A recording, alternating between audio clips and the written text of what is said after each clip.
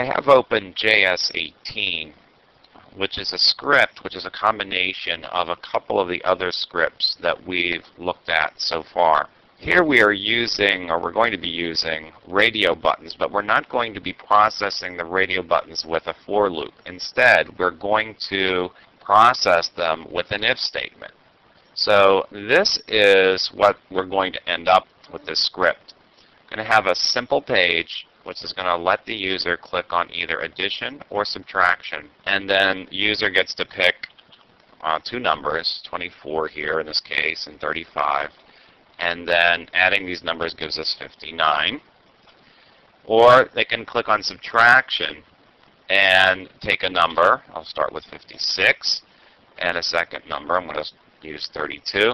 And then subtracting these numbers gives us 24. So it all depends on what the user clicks on and, and what numbers they enter, and that will give them the proper result. Okay, to accomplish this, it's very much similar to the scripts that we've worked with so far.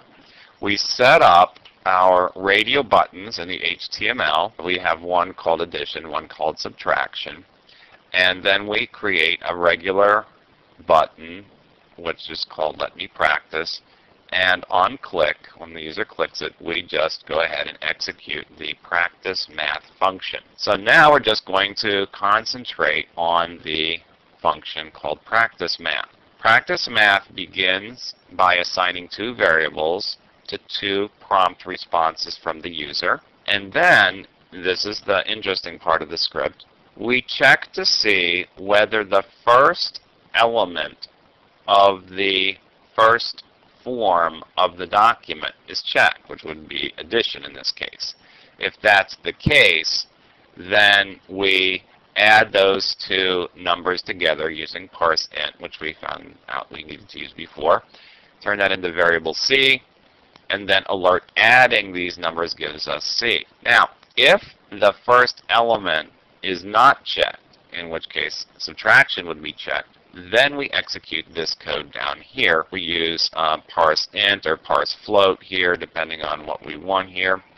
And then uh, it says alert, subtracting these numbers gives us, and then uh, a real number here. So the way that this script is currently written, we could enter in integer numbers for the addition, or any number that we type in would be converted to an integer. But in the subtraction, we have it set up currently because we're using parse float to process uh, real numbers if, if that's what we wish. If addition is checked, we add the numbers together. If we click on subtraction, then we subtract the numbers and we give us, uh, we return a result here in the alert and dialog box. Okay, so study this script. You may want to modify it somewhat for your own purposes. And um, again, uh, this is what the script does in real life. When you click addition, you can type in uh, a, an integer number, but if I type in a real number instead, or a series of real numbers, I still get an integer result.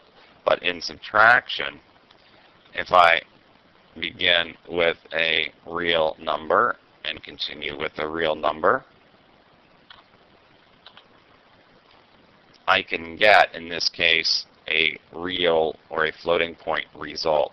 That's the way that the script is currently written. If you only wanted to deal with integer values, then you would change the two parse floats uh, later on in the script to parse int.